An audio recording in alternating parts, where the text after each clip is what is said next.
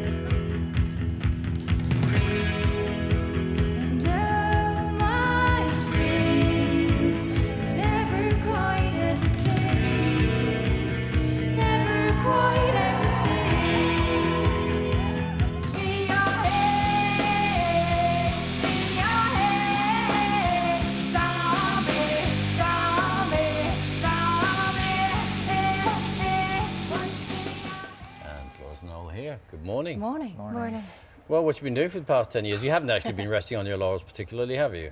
Um, no, not really. I did two solo records. I did one, and I kind of um, I did about a year of a tour after it, and I did another one which I didn't tour. I did the reunion with the Cranberries at that stage, but like having kids and stuff like that as well. Well, that'll take up your time. Yeah. Yeah. Just listening back to, to Linger and Dreams and Zombie, it takes everybody, I'm sure, who hears it right back to where they were at the time in, in the 90s. Is it, it, was that a comfortable time for you? Um, it began great, you know, especially with the first two albums. But um, we look back at it now and we think that we probably should have taken a break after that. We went straight into the third album, and you know, it started to get a bit kind of out of our control then.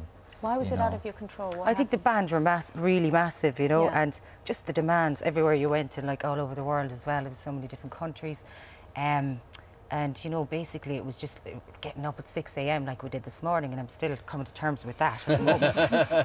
Yeah. It's kind of out of the uh, entertainment, the rock star league. But anyway, but back then it was all loads and loads of PRs, you know, so you're getting up at 6 and it was just like photo shoots and press and photo shoots and videos and press and singing, and but no life, you know what I mean? No identity outside of it. Uh, And did the pressure begin to tell on you on the with the live performances as well after a while? Yeah, I mean, you get burnt out really if you keep going like anything, you know, the Energizer Bunny type thing. You have to stop, go home, and whatever. But we should have really stopped in hindsight after the um, second album, but we didn't. We kept going, and then, you know, we all went a bit mental and cracked up.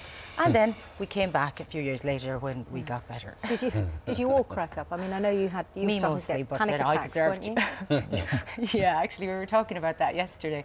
Noel used to get them as well, the panic attacks. And I- we had Did this he? thing. I said, you know what, if I get one, I'll kick you under the table and you bailed me out. So it happened. I got one and I kicked him and I was going, panic attack. And he was going, yeah, me too, me too. so we were both Was this on? out. Was that not on stage, but just sort of? It used to happen on camera and stuff as well in interviews, but we were just working too much, you know. And, Yeah. people were Yeah, going, there was just Well, a demand. I suppose, and there constantly. is this, there may be a sense, I suppose, that if you know you can't afford to drop the ball. Do you- Well, yeah, and you're at the top, right? And you don't want to go down. You kind of up, up, up, up, up, and Yeah. lonely at the top. But you have to go down for a drink of water. You know, you Mm. can only stay up at the top for so long, and then you're going to start getting wrecked anyway. Yeah. So, But with both of you having panic attacks, who was it that said, well, we've just got to, we've got to stop here for a while?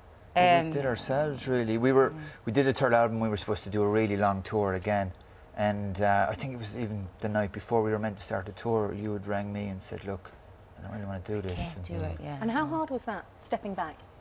It was hard. Like everyone around us, management, record company, weren't pleased, obviously, and that's kind of you begin to worry more about them than you do yourself, what their mm. reaction would be. But we did r- hit that wall where mm. we had to walk away from it. Yeah, or else you know you probably end up dead.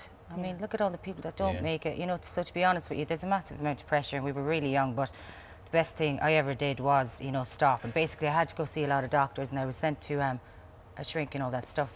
And it was really kind of, no, you're not mad, but your world is mad. Your life's mad. Yeah. So you Yes. deserve to behave like you're mad because your world is mad. So. Yeah. That was then. This is now. And we're all actually, we're going to look at now. We look at tomorrow because this is an exclusive. Thank you very much. First play Excellent. of the video. Here we go.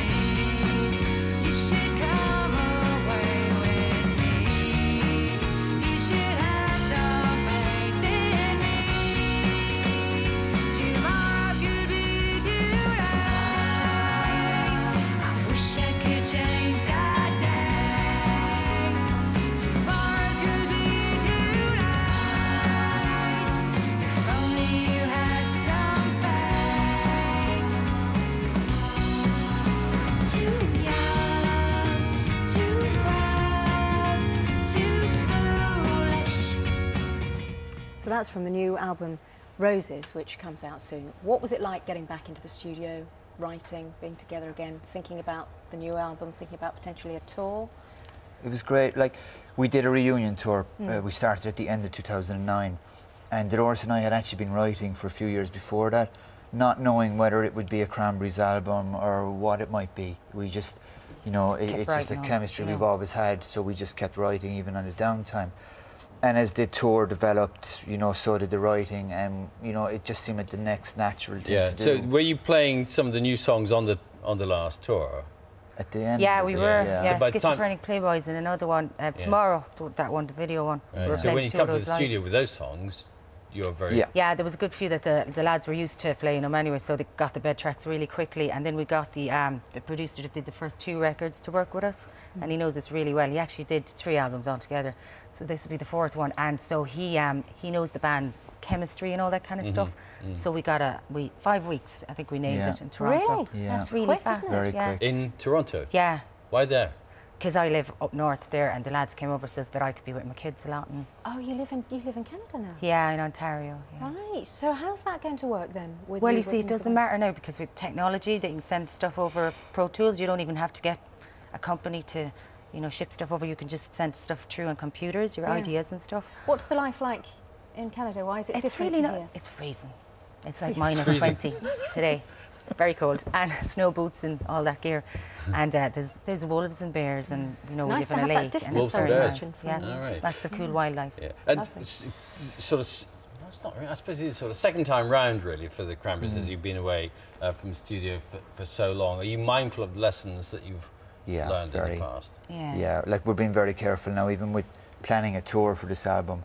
We only plan a few months ahead at a time, whereas years ago we would have agreed two years of work. Mm. And we don't want to fall into that trap again, so we're a lot more careful.